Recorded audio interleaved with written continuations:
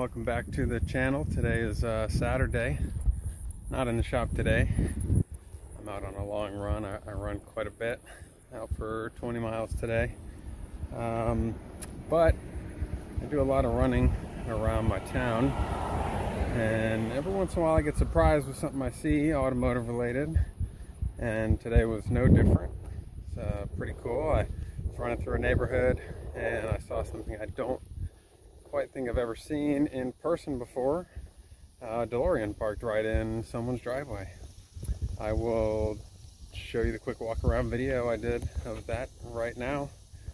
Quick walk around here. This thing is cool. I don't think I've ever seen one in person. That stainless body is awesome.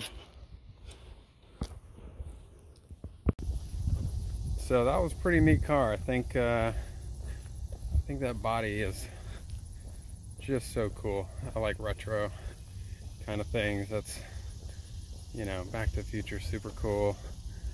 One of the first kind of movies that I remember that, that the car was kind of like the star of, of my you know years, era, generation, what have you.